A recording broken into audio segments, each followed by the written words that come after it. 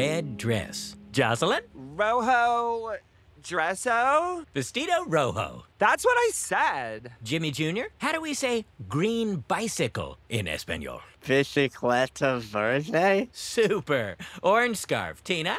Tina? Tina! Huh? What? What? Orange scarf. Oh, sorry. Um, pass? Bufanda naranja. Yep, huh, that sounds right. Good job.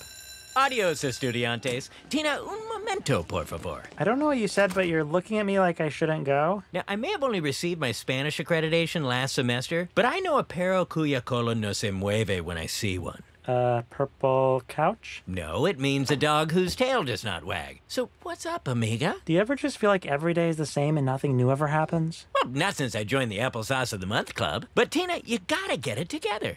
Because your last couple of quizzes have been caca, okay? So I signed you up for the language lab. Wagstaff has a language lab? Well, we have cassette tapes on a shelf in the library that someone donated in the 1980s. It's really more of a language shelf. Okay, so what do I have to do? You'll practice with the Spanish tape this week during after lunch break. Oh, man. In Espanol, please. Oh, uh, oh, hombre. Pass the weekly quiz on Thursday, and you'll get your after lunch break back. Bueno. This is just bueno. So right after I eat, I gotta go to the El Stupido library and work on Spanish. So I guess you'll just have to practice without me. See, this is why I hate school. It gets in the way of really important things like humiliating Mr. Frond in the dunk tank. Sorry, guys. Ugh, but you're our best shot. You at least throw hard with your raw pube power. Raw pube power is what got us to the moon. Well, well, well. Look who we have here. The Belchers. The school fair's coming up. Please tell me you're gonna waste all your tickets again on trying to knock me into the dunk tank. It would make me so happy. Not all our tickets. I'll need three for the snow cone booth, minimum. They're not gonna be wasted. We're gonna waste you. You're never getting this wet. Never. Huh.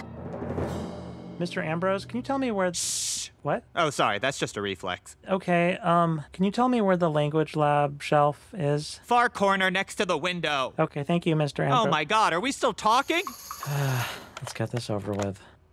Welcome to Pack Your Bags, Spain edition. Are you ready to pack your bags and head to Spain? This is a Spain in the butt. Great. Now let's meet your host family and try to respond in Spanish. Meet Senor Baltazar. Hola. Hola. Now say hello to his wife, Senora Baltazar. Hola. Hola. And meet their two children, seven year old Maria Hola. Hola.